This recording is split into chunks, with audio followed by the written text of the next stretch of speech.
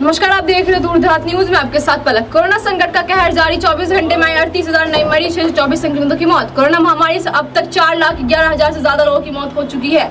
अभी मौत का दौर जारी है। अमेरिका, ब्राज़ील के बाद दुनिया में सबसे ज़्यादा मौत भारत में ही हुई है। देश में कोरोना की दूसरी लहर थोड़ी कमज़ोर ज़रूर हुई है, लेकिन अभी तक खत्म नहीं हुई है।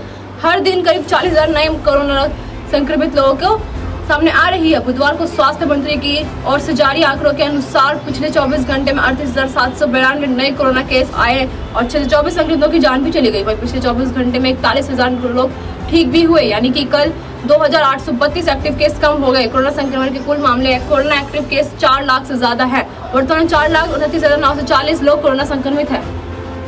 कोरोना से अब तक कुल चार लाख ग्यारह हज़ार चार सौ आठ लोगों की मौत हो चुकी है। अच्छी बात यह है कि अब तक कुल तीन करोड़ एक लाख चार हज़ार लोग ठीक हो चुके हैं। महामारी की शुरुआत से अब कुल तक कुल तीन करोड़ नौ लाख छियानवे हज़ार लोग संक्रमित हुए हैं। अड़तीस करोड़ से ज़्यादा वैक्सीन के डोज दिए जा चुके हैं। स्वास्थ्य मंत्रालय के अनुसार तेरह जुलाई तक देश भर में तैतीस लाख चौदह हज़ार टीके लगाए गए हैं। वहीं आईसीएमआर के अनुसार अब तक तैतीस करोड़ उनचास लाख कोरोना टेस्ट किए जा चुके हैं। बीते दिन करीब उन्नीस दशमलव पंद्रह लाख कोरोना सैंपल टेस्ट किए जा चुके हैं, जिसका पॉजिटिव रेट तीन फ़ीसदी से कम है। ऐसी तमाम खबरों की जानकारी के लिए चैनल से जुड़े रहे। चैनल को लाइक करें, सब्सक्राइब करें शेयर करें। बेल आइकन में दबाना ना भूलें